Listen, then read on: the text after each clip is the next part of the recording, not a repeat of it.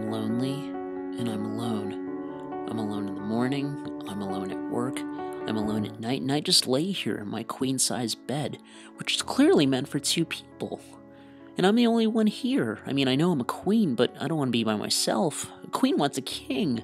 I want somebody to king me. All the time. I'm always cooking dinner for one. Which is pathetic. I mean, it's easy, so I kind of like that. And there's only one dish to ever clean up, and that's great.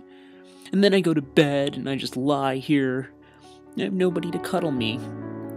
You pink bear, which I thought was a pig. I'm getting old. You know? Old.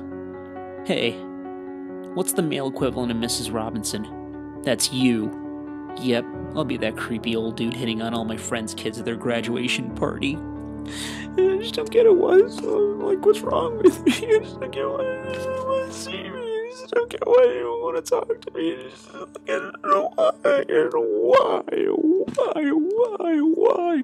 Why? No. What? What? Stay with me. Boo.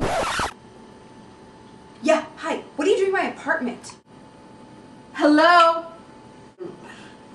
I got in. David let me in. David's on a trip. How did you get into my apartment and what I got in. Did you rearrange my furniture? I'm, I'm lonely.